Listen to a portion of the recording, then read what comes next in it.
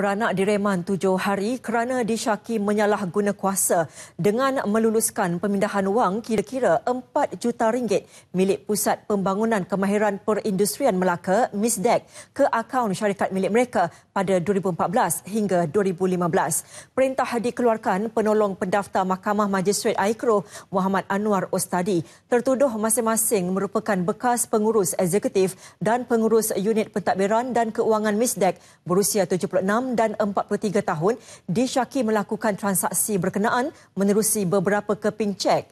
Siasatan dibuat mengikut Seksyen 23 Akta SPRM 2009.